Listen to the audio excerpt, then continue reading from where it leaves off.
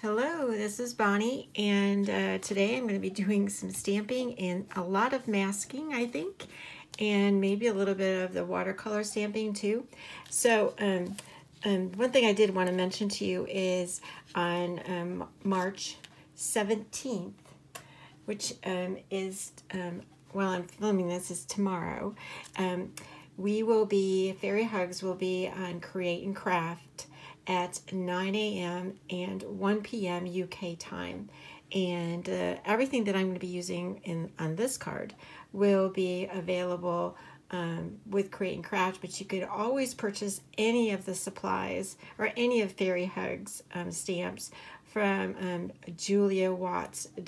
Um, Julia Watts um, UK, just Crafts UK. Just type that in, and I always have that in the description below. You can just actually um, click on the link below, and um, you can get anything from usually from Julia. She can order it for you. So I always I always forget to actually mention that on the video, but that's always below in the description just to let you know. So um, today I'm going to be using Fairy Hugs um, bunnies. Again, this is going to be in the show. I am going to be using um, Fairy Teacup, and this is a real good versatile stamp. You can use that with many things. Um, another thing that's um, really cool is the Meadow Grass. And then um, I used this the other day, but I'm going to be using that again. And all of these are going to be in, on the show. And this is a fairy flower. now, what I did was I um, am going to be using or designing something very similar to what is on the Fairy Hugs Facebook group. It's, it's Fairy Hugs Store. Um, if you ever were to go to look for that. And also I have that in the description below, the link. Um, I'm going to be using that, um, the current Facebook banner as my inspiration today. So what we're going to do is we're going to, um, I'm going to show you with some of these, um, how we're going to go about doing that.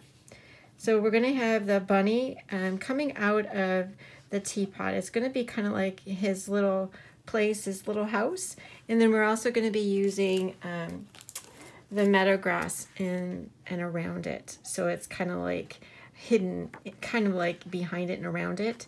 So um, in order to do that, I want to make it look like the bunny is actually coming out of the teacup. So to do that, you have to um, stamp and then mask.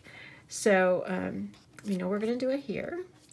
So I'm going to be using the larger bunny for this scene and I'm going to be using um, VersaFine Clair Nocturne for the bunny. He would be good also in brown because um, I've stamped him in brown before. And um, the key to stamping um, any stamps that have, I want to say skinny lines, um, is not to have to stamp it twice.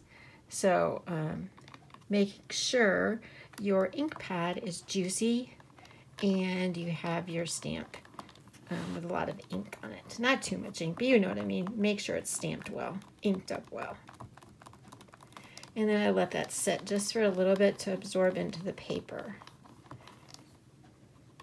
And I am using a um, heavier cardstock just because the idea is um, I might actually put um, some water on it, so I'm using the heavier cardstock.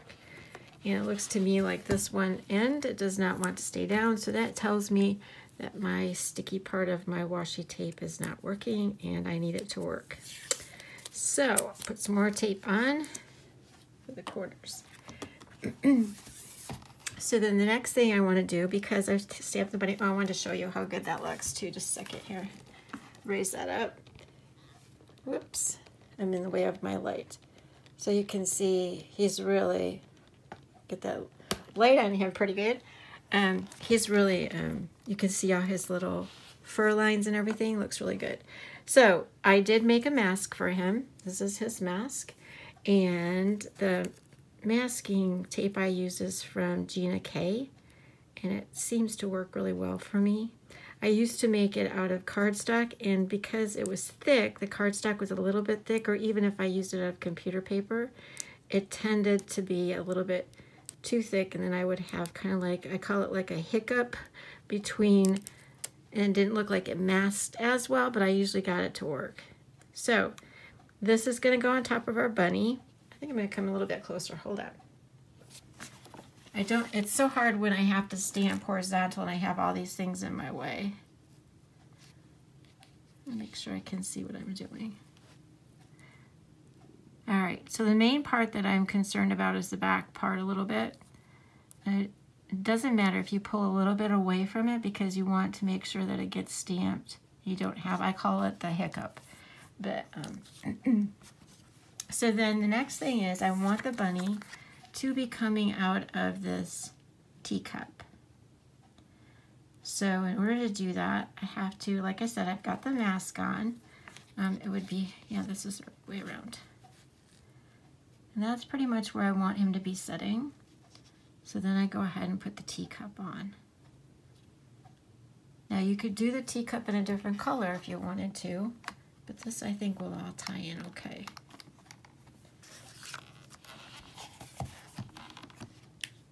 Because I do believe I'm going to do the green in the background, um, or I'm going to do the um, meadow grass in green for the background and around it.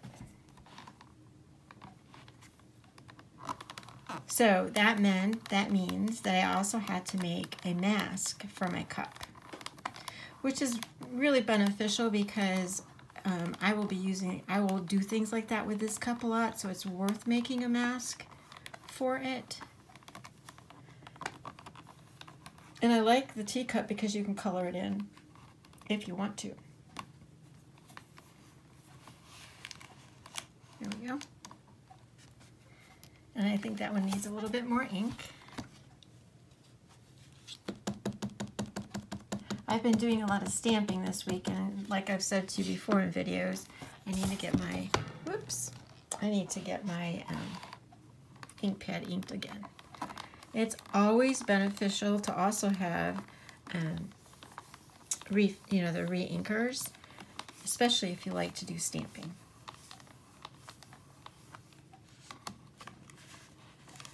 And my understanding is that Julia now carries the um, colored reinker. She always has the regular black reinker as well.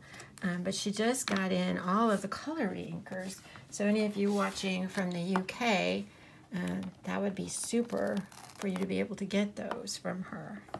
It's nice to have, like I said, always have that, have them refilled. Okay, so right now I have that going over the bunny, right?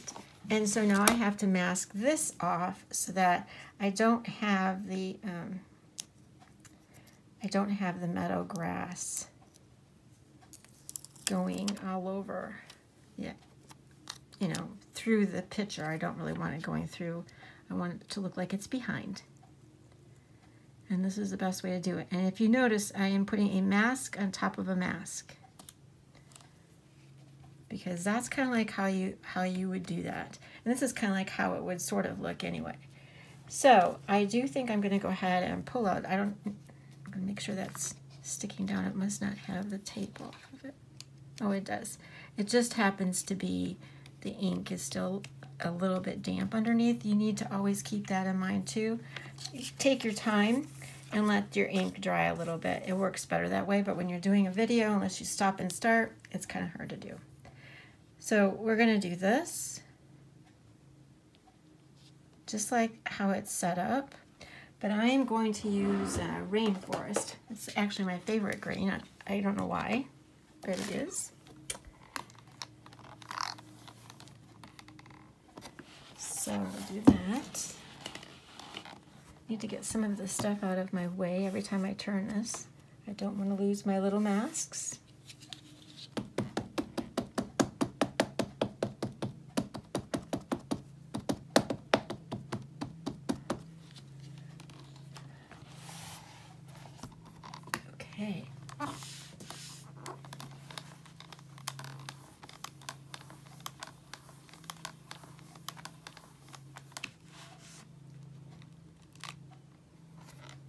Yeah, and you see what I'm saying about that little bit of a hiccup. There we go. I just needed to push down on further. So now it looks like um, the bunny is actually in, but when I take this up, it'll look like the grass is behind it. So I really like that. Um, I am going to continue the grass to come over a little bit further. In order to do that, um, I don't want to overlap it too much. So I'm just going to be placing a little bit of this down here. You can kind of see me doing it there. And I'll pull that back over so you can see. Okay. And so I just need to ink up the top of that.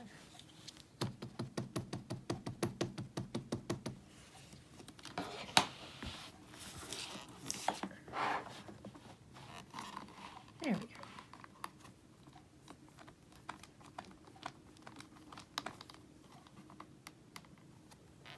Okay, so we've got our bunny scene for the most part down there.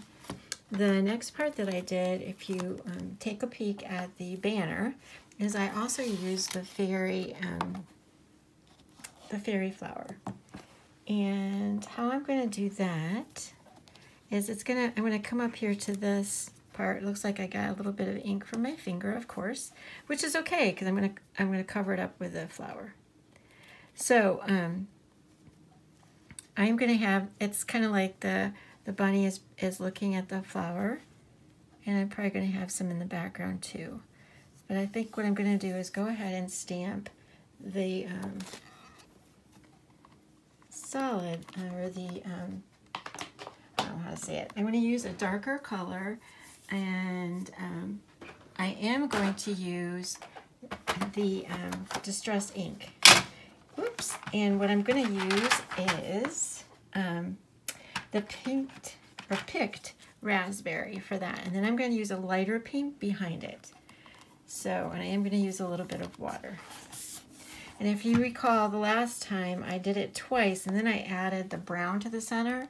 This time, I am not going to be um, putting pink on the center of that at all. And I am just going to add the brown to it. That's the plan. So I got to pull out my brown as well. And um, the last time I used, I think I'm going to continue to use um, the, the uh, walnut stain. I prefer the walnut stain. Because I've used the um, vintage photo works too, but I like I want a darker one for this. I think of it as a cone flower, and I really, really I don't know what the, if they're called differently in the UK, but um, we call them um, cone flower. And then I'm also going to be using um, a green for the um, stem, and I'm going to be using uh, rustic wilderness, and just try to get a little bit of that green on there. Okay, it's kind of like coloring with ink. So, all right, so now I'm going to spray that and see what we get. And I do like a little bit more water than not from my experience. And there we go.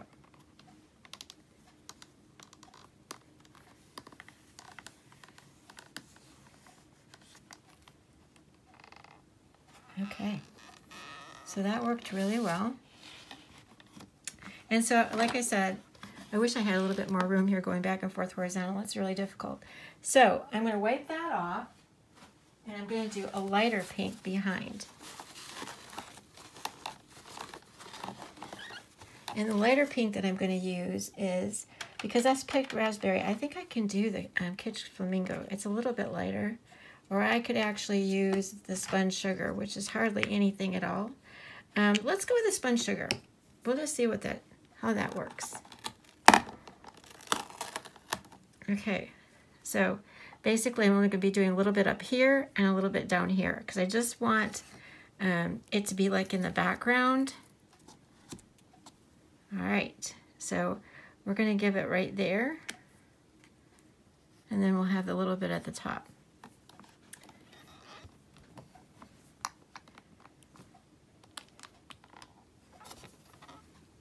Okay, so like I said, we're going to do spun sugar, and here's the deal. If the spun sugar isn't, because it's the lightest color, I can always come in with a picked raspberry, and that would work great. However, I need to pick to see if I even have a lighter brown. I'm hoping that I do. I know I have a lighter green. Yes, I do have a lighter brown. I should have been prepared, but I wasn't thinking. Um, I'm going to use the tea dye for the brown.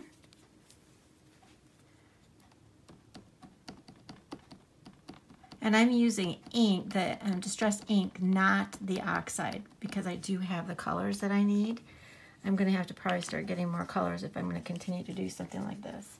And let's see here, the um, green I want to use is the Shabby Shutters. I think that will work. Although I don't even think this is going to hardly show because it's not too much in the picture. Okay, let's see. Otherwise, all I'm going to have to do is really add a different pink, I think, if it's too light. Okay. Let's see what this one looks like.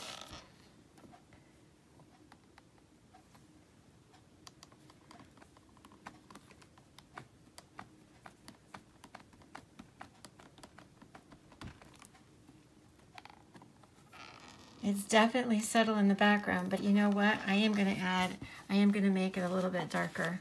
I mean, I don't have a problem with that, but it needs to be just a hue darker, I think.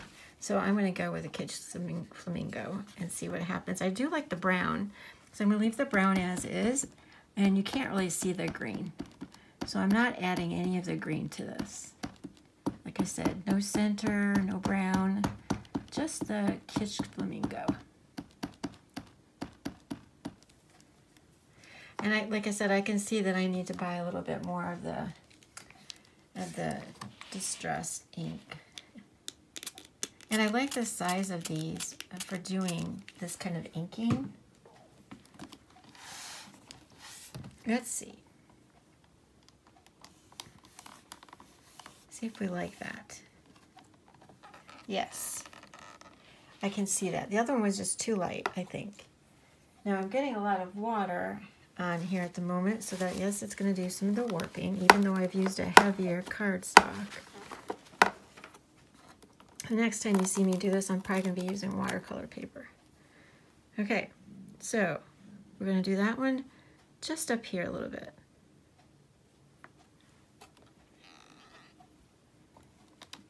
And it fits in my, just fits in there. All right, so for this, I am going to have to do, because the brown will show. Even though a little bit of that did show up, that's kind of cool. Just showing you how I am stamping that out. It's not a big deal. And I'm lucky because this is a bigger stamp, so I'm able to do that with these. And this is the tea dye for the center. Um, there's The green is not going to show, so I'm not putting any green on it. All right. And we're to be good for that. So I'm going to want this to dry. And then, um, yeah, I like that. I'm going to want this to dry. And then I'm going to use the Fairy Hugs stencil that is also in the show. And that is um, the, oh, I think this is a Floral Vines. I'll have to double check. Um, but yes, I'm going to use that for the background. So let me let this dry and we'll be right back. Okay, so I decided while that was drying, although now I'm going to be making it more wet, that it, it, I didn't need to wait. So I'm going to do similar, something similar to what I did in the last video, I'm, but I'm going to be using Distress Oxide Tumble Glass, um, and I'm basically going to ink this all up, and I'm going to use this part as a stamp. I'm going to try to avoid the outline as much as I can in this because I don't really want that line to show because this um, project I'm working on is closer to like a 5 by 7 and so this is a 6 by 6 um, stencil so I'm going to wipe some of that away as much as I can um, so that maybe those lines won't show up as much. We'll see. So I'm going to spray that and use it, like I said, as a stencil, or a stencil as a stamp. And I'm, I'm going to have to do that twice because, again, like I said, my um, card is bigger than these, um, longer than the stencil, rather. All right, so like I said, I'm going to try to avoid the lines of the stencil. So I'm not going to push all the way down on where the um, lines are right here.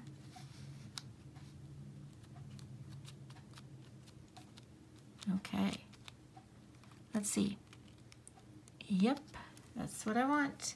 All right, so I'm going to do that again on this other side really quickly. I have two mats, one for I don't mess up my card and then one where I can just put this ink wherever I want to mop that up a little bit. All right, and then we're gonna go back to the tumble glass. And I really technically, I'm only gonna need, yeah, just half of this, I think. But you know what, I'm just gonna go ahead and ink it up just to make sure I've got what I need. And again, I'm avoiding the outside line. Okay. And I gotta, didn't know what I put, where I put my mister, it was right in front of me. And we'll pull this out of the way and put this there. I like that little bit in the background, it's kind of cool. So again, I'm gonna try to avoid getting those lines on there.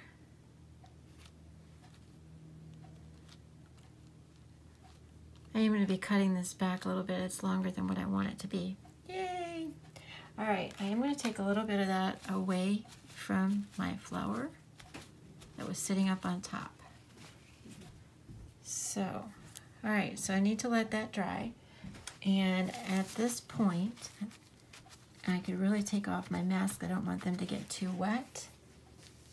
So I'll show you what that reveal is because I know behind this, I am, um, I don't need to worry about it. So there's our reveal for our teapot. And now we'll reveal our little bunny. So there, see? He looks like he's right inside of that teapot. That's cool. So I'm going to be coloring this. And like I said, I'm going to be cropping this back um, a little bit, probably more on this side. And plus, um, some of the um, tape took off what I stamped, so I know I was going to take it off anyway, so it didn't matter. So I'm going to let that dry, and then what I'm going to do is I am going to come back with the stencil and add a little bit more ink. So, okay, there we go. Okay, so I'm ready for my next step, and I wanted to um, do the, um, the vine back on here. And I'm going to try um, Distressed Ink Lost Shadow. I got this recently and I haven't used it yet. I've got the Distressed Ink and I've got the Oxide. My problem is I don't know that this brush is super clean, so I'm not really sure what's going to come out of that. So we'll see. Um, but I, I, I've heard that it's very subtle, so I'm going to start back down here in this part just to see what subtle really means. That's to see if I can see it. I don't know.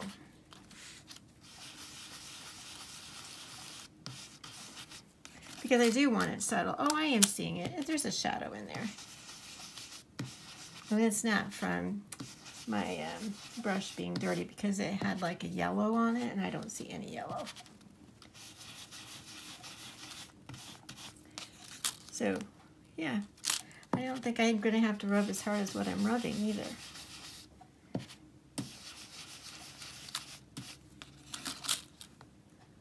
I like it.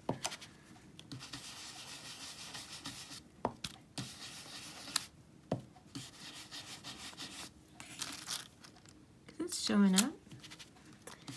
I think I might still add, um, I also pulled out the um, spun, spun sugar. So I think I'm going to add a little bit. I was going to add blue, but I was thinking it's going to take away from the blue I've already put on, and I really didn't want to do that. So, but this is coming out.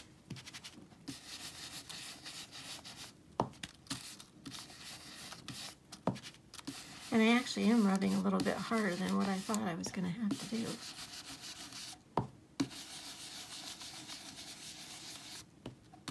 Well, maybe not. I was thinking people were saying that it's very subtle and it didn't show up much, but actually this is showing up more than my um, pumice stone, but then my pumice stone is really probably a little bit dried out.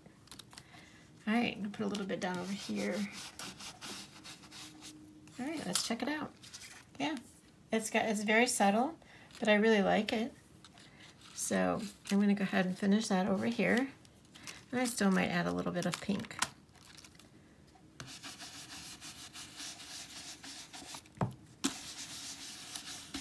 Just think I, I just think that the pink would probably go well with the um, flower and know, just kind of look pretty. All right, I mean that's kind of subtle. I think I probably could have done it a little bit darker.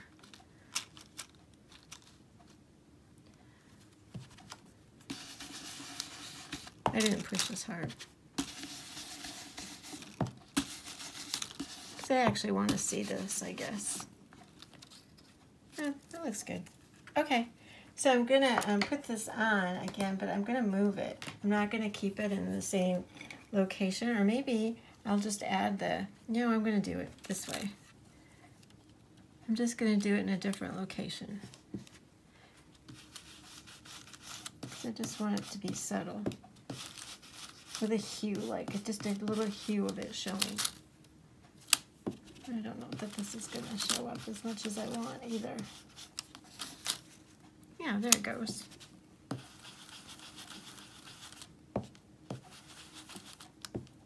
Anyway, this um, is a really cool stencil. I've used it several times, and it works really good with um, texture paste, too. So...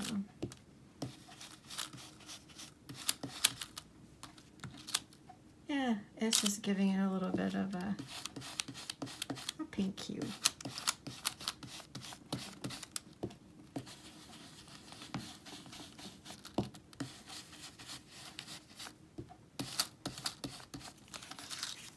Yeah, I think you can, it's very, very, very subtle, which is okay. Making this kind of move around by being a little bit too rough.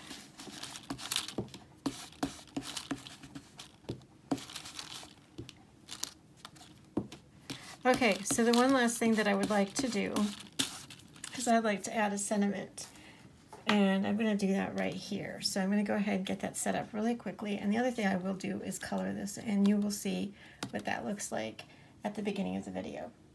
All right, so the sentiment I'm using is also in the show, and um, it is called Be You.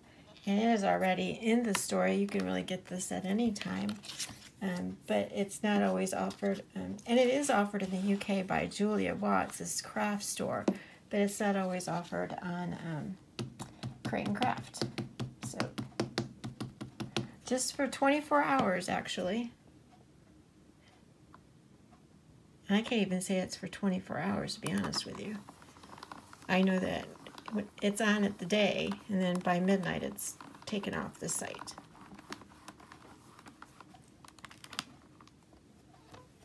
All right, that looks really good. I think I'm just gonna stamp it one more time. I know that the um, oxide, which I use spun sugar, does make a difference in terms of stamping. But that's good, that shows up. Yay.